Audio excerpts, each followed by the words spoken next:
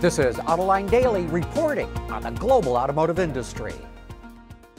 Lighter, safer, stronger, quieter, and more sustainable. Tell us where you need to go, and we'll help you get there. Dow Automotive Systems. We don't succeed unless you do. Looks like Alfa Romeo is hitting the brakes when it comes to developing more new models. It was going to come out with two more crossovers, a C segment one, smaller than the Stelvio, and an E segment one that would be bigger. But Auto Forecast Solutions reports that those crossovers were canceled. Also, Alfa canceled plans for a high end sports car called the 8C and a small sports coupe called the GTV. We're guessing these new models would have cost a fortune to develop, but Alfa doesn't have the sales volume to support them, at least not yet. And speaking of cancellations, Auto Forecast Solutions says the next generation of the BMW 6 Series Gran Turismo is getting the axe. Apparently, BMW felt the Gran Turismo was going to cannibalize the lower end of the 8 Series Gran Coupe, and so it decided to keep the one that can make more money. Remember how we wondered why Toyota needed the Prius after it revealed the spectacular fuel economy for the new Corolla hybrid?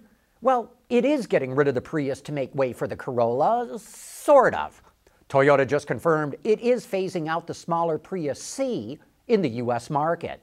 There's only about 700 of them left in stock, which at the current rate will take about two months to sell. For all of 2018, Toyota only sold about 8,400 Prius Cs in the U.S.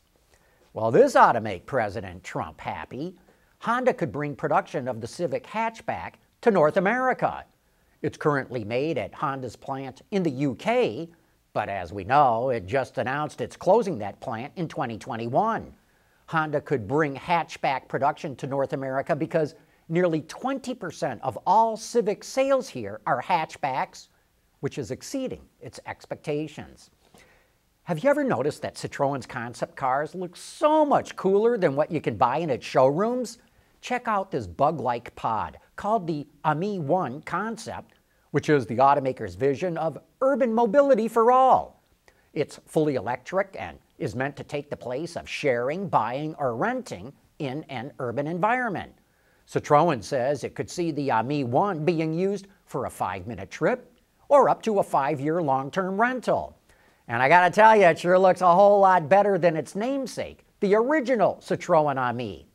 This ugly bugger was sold in Europe in the 1960s and 70s and was instantly nicknamed the atomic cockroach. I mean, can you imagine being the design chief who signed off on this monstrosity? AutoLine Daily is brought to you by Bridgestone Tires, your journey, our passion. Dow Automotive Systems, advanced materials that deliver better results, and by ExxonMobil. Seems that every time you turn around, another automaker is announcing yet another restructuring. Now, Ford says it's going to get out of making heavy trucks in Brazil and it's going to close its plant in São Bernardo do Campo. Even though Ford stopped making semis in the U.S. decades ago, it continued to make them in Brazil. Well, not anymore.